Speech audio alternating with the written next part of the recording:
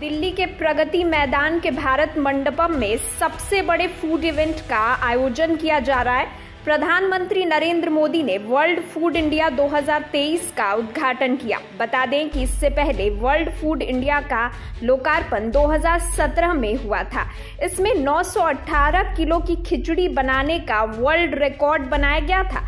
बता दें कि इस बार के इस आयोजन में 80 देशों के मेहमान शामिल हुए हैं।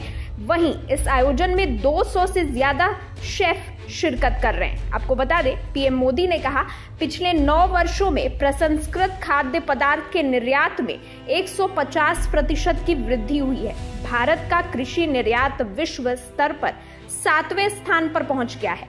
खाद्य क्षेत्र में ऐसा कोई क्षेत्र नहीं है जिसमें भारत ने प्रगति न की हो।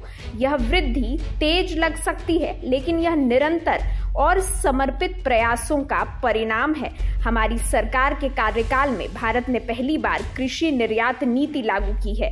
पीएम मोदी ने कहा कि पूरे भारत में हमने लॉजिस्टिक्स और बुनियादी ढांचे का एक नेटवर्क स्थापित किया है।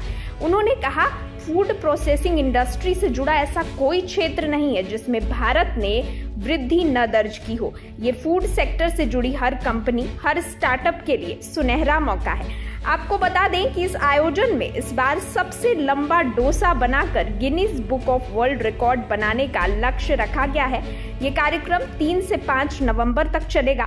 कार्यक्रम का समापन राष्ट्रपति द्रौपदी मुर्मू द्वारा किया जाएगा।